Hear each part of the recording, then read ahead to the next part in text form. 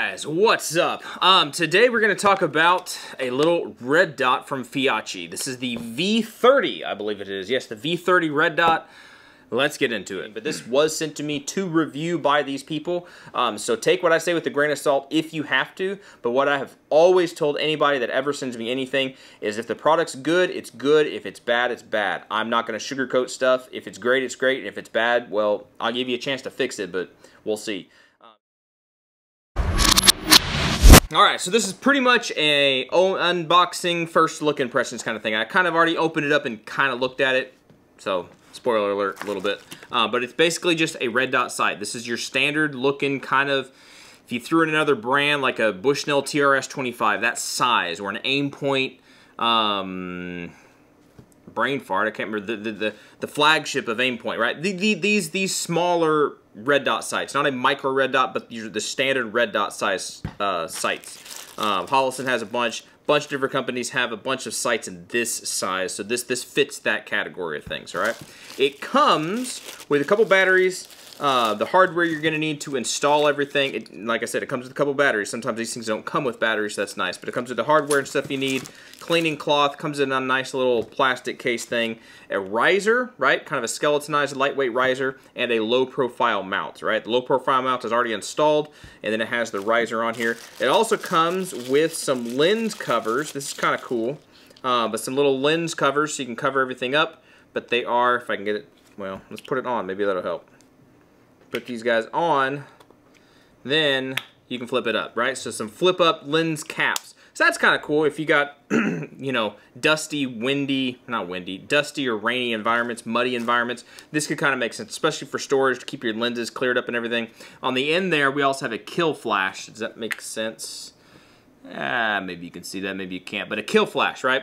Uh, or a, a, flash kill, whatever it's called. Uh, but a webby looking um, honeycomb style looking filter on the end here so that when you're looking straight through the optic you can see everything just fine but if you turn the optic just slightly it helps the the sunlight uh, or the glare not bounce off of the lens and kind of reflect and be shiny and bright. It kind of helps kill that flash, kill flash, that's why it's called that. Um, I do believe that's removable, so you could remove that if you want, because if you're going to be running the end caps or the, uh, the covers on there anyway, you could just run that thing on there and not worry about that ah, at all. If I can get it to go on there. There we go. Not worry about that at all. So now it's all covered up anyway, and then whenever you're using it, there you go. Then then you can see kind of what's going on there. All right, so let's go ahead real quick. We're going to take off this small little, the low profile mount. We're going to put on the riser because we're going to install this guy on this little 22 we got right here and see kind of how it co-witnesses with a standard A2 front sight gas block and your standard sight heights. All right, so let's do that real quick. All right, now they did, it looks like, include, what are all these pieces for? So, okay, so you got two different Allen keys, or, or an Allen key and a star bit, basically, or a Torx bit. Torx bit, that looks like that's going to be for your adjustment screw on the side, or not your adjustment screw, but your, your torque down. How do you, how do you tighten this, this, this mount down to the actual firearm? To take off the mounts, it looks like they chose to use an Allen key, right? So we're gonna go ahead and take these guys off. This comes pre-installed with the low profile on here. We're gonna go ahead and take this guy off. Looks like these are not on here very tight. So make sure if you get one of these that you check and make sure everything is tight before you go to shoot and everything. Um, but it does look like you have two full sets of screws. So they didn't just give you one set of screws and expect it to um, you know, in case you accidentally strip something out, they didn't just give you one set of screws, you got two full sets of screws. Alright, so we got the old mount off. Alright, we're going to get the new mount and put it on. Before we put it on, we're to go ahead and put some Loctite on these holes here. This is a very, very overlooked thing a lot of times, um, even by manufacturers. Sometimes the manufacturers don't do these. Sometimes they expect you to, you know, to switch stuff around and see what you like before you lock stuff down but in general, these should come Loctited um, or with some Loctite, and if they don't, get you a bottle of Loctite, this will last you forever. We're going to put a little dab of Loctite on each one of these holes. That way we don't have these screws accidentally coming out under recoil when we don't want them to. All right, just a little bit will do you. Don't go overboard. Um, you can easily put on way too much. We're going to go ahead and put this guy on. It's got a notch right here in the middle right? Kind of a recoil lug that coincides with this slit right here on the bottom side of the optics. So make sure those line up. All right, and then we're gonna go ahead and start installing our screws. All right, now I don't see any torque specs that I'm supposed to follow as far as how tight these things are supposed to be, but it looks like these are screwing directly into an aluminum sight, so I'm not gonna over tighten them. I'm just gonna get them nice and snug, just good enough, and leave it at that, and let the let the Loctite do its work and and not work itself out. All right, and it looks like there are actually two extra screws. So you have four complete screws for your low profile mount, and then four screws for your for your riser. You also have two extra screws just in case something I guess happens. I hope that doesn't mean that they expect these screws to strip out, but uh, just in case something happens or you lose one, you drop one, that happens a lot, especially when you're dealing with little screws. So that's nice they have extra screws for you to have. So let's put this stuff back away. All right, we're gonna go ahead and back out our um, our screw that locks everything down for the sight. We're gonna go ahead and put this guy on. I'm going to, again, put a little bit of Loctite on this guy. It's just a good thing to do. It doesn't look like these come with any Loctite on the screw itself. If it did, it'd have some blue, uh, some blue looking stuff on the end there. Um, sometimes different color. Generally, it's going to be blue, though. Blue or red is your general colors. But we're going to put just a little bit on there. Not a whole lot, just a little bit. We want it to lock on and not come off under recoil or vibrations, but we don't want it, we, we want it to come off when we want it to come off. You know, we're not permanently attaching this guy is what I'm trying to say. Make sure we point this guy in the right direction. The red side, so you can see the red side with the reflective coating on it, that's always going to go on the front, and the clear looking side, that's going to go back towards you. So I like to install mine on the very front of the upper receiver. As far forward on the upper receiver as I can go. And when you attach these things and when you mount them, there's usually, even with high quality stuff, you're gonna have a little bit of slop inside um, the Picatinny rail that you're in. I'll try to show you if I can. If you look real close, I should be able to have some movement. See that movement right there? That's not necessarily a bad thing. That is generally across the board how it's going to be. But what you want to do is you want to push forward all the way forward so that the mount is all the way forward inside that Picatinny slot, not backward, but forward, and then you want to tighten everything down. The reason you want to do this is under recoil, it's going to try to force that optic or whatever you might have as far as an attachment in those Picatinny rails, it's going to try to force that attachment forward. And if you already have the optic or sight or whatever mounted all the way forward within that Picatinny slot, you're not going to have a whole lot of shift and zero, right? But if you have that if you have that optic just floating somewhere inside that slot, inside that slop, right, then it's going to be a little bit harder to zero because you might be zeroed one day, you shoot a whole bunch, and then you go to try to shoot, you know, a bullseye later, and it's it's shifted. That's because that optic shifted forward. If you already mount it and lock it down on the forward position, you'll be good to go.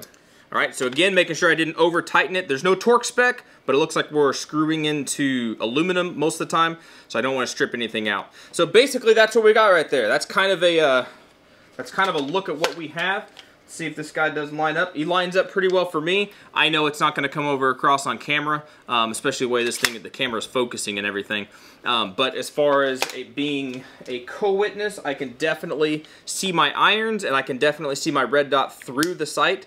And if I'm going to be storing this thing or carrying it around, I could close everything up with those um, uh, with those dust covers, basically is what they're called. And if I want to, I should, I should have done this earlier, I should be able to take off the front cap and if I installed or reinstalled that kill flash on the end if I just reinstall this guy back on here there we go. So now I have a kill flash underneath my flip up cover. So now even with all this glare and stuff there shouldn't be any shiny glare coming off of the of the front lens because that kill flash should be cutting down on that on that uh, that reflection basically. So just a couple little different pieces of information about this sight I'm just going to read it straight off their website. Um, I don't have everything memorized. It's not how I roll. But it's a 2 MOA dot, which is good. Um, the smaller MOA dot you can get, that generally means you can get a better zero. You can be a little bit more precise. And if you find that you need the dot to be bigger, just bump up the brightness settings and it will bloom. It will make the, the reticle look bigger, easier to see, and cover more area. Um, speaking of brightness settings, it, look, it looks like they have 10 different brightness settings eight of them being daytime brightness settings. It says two of them are night vision settings. Now, I can't verify that because I do not have night vision. I can't verify that one way or the other. I can say that it has 10 visible um, settings, right? So you can go as low as you can go, right? And you have a very, very, very dim red dot, and then you have 10 different increments where it gets brighter and brighter and brighter until it just stops getting brighter. Just gets, it peaks out at a brightness, right? Um, it says it says it has an auto on, auto off. Um, I have yet to test that. I haven't tested that yet, but it says that if you leave the leave the light on or the light leave the red dot on then within an hour or at an hour if if there's no movement the the optic will turn itself off. And then after it senses some kind of movement then it will turn itself back on all right? If that's true that's really really cool. I have yet to test that. We'll we'll test that in the actual review later make sure that actually happens. Comes just low profile, uh, base mount and a riser. That's good. Um, certified to 800 Gs, whatever that means. I don't measure Gs and stuff. I'm just going to put this guy on a 22. If it works well and survives on a 22, I might put it someday on a full-size AR-15. But for me, in my experience, I'm just gonna run this guy on a 22, and I think it'll I think it'll it, will work well in that case. All right, guys, so that's a quick, down and dirty, kind of an install, first impressions unboxing of the Feyachi V30. Um, I, am excited about it. I think it'll work well in this little 22. Um, time will tell for sure, 100% for sure. And we will get out and shoot it and test it and see what we can do with this thing. I'm not really looking to torture test this guy. If he survives and he works well over time on the 22, I may stick it on an AR-15 and just kind of see how it, see if it holds zero, all that kind of stuff. But in my experience and for, for my purposes, I think this, I think it'll work well on like airsoft guns, um, 22s, this is a 22, very light recoiling firearm, not a heavy use kind of thing, not a, um, you know, live or die kind of a firearm, just a, a general purpose kind of fun gun. Um, that's where I'm sticking this guy. But if you got any questions about the V30, please let me know. Um, I will do my best to answer those questions if you submit them before the actual review. Um, and if you do submit the questions before the actual review, I'll do my best to answer those questions in the actual review, if that makes sense. Kind of give you some extra extra answers, extra in-depth answers, as it were. Um, if you want to check this thing out, there should be an Amazon link below. I'm not sure if that's an affiliate link or not. If it is, cool. If it's not, cool.